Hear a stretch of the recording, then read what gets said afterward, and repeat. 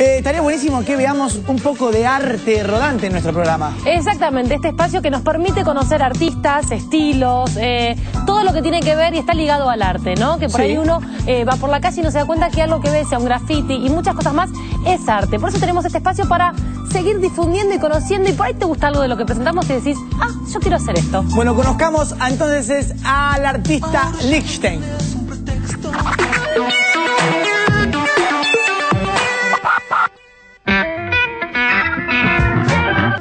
Fox Lichtenstein fue un pintor estadounidense de arte pop, artista gráfico y escultor, conocido sobre todo por sus interpretaciones en gran tamaño del arte del cómic. Nuestra generación anterior trató de exponer el inconsciente. Los artistas pop, por el contrario, intentamos distanciarnos de nuestra obra. Yo quiero que mis cuadros tengan un aire más impersonal.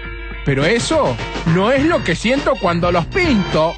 En 1960, Lichtenstein era profesor en una universidad cerca de Nueva York. Eso lo llevó a frecuentar el ambiente pop, que por entonces estaba surgiendo y manifestándose en muestras y reuniones, lo que le permitió acercarse al estilo popular. Pero lo que finalmente lo decidió dedicarle tiempo y esfuerzo al estilo popular fue una frase de uno de sus hijos, quien le señaló un libro de historietas de Mickey Mouse y le preguntó, Papá, ¿vos podés pintar algo tan bueno como esto?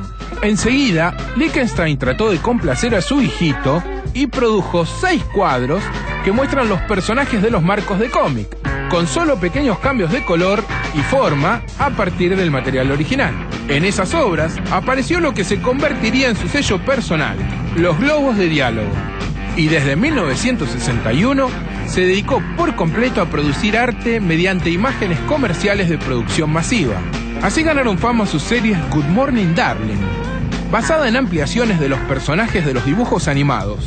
Sus últimas obras, entre las que están las reproducciones de personajes muy populares de la novela rosa, paisajes estilizados y copias de postales de templos clásicos, muestran la influencia de Henry Matisse y Pablo Picasso.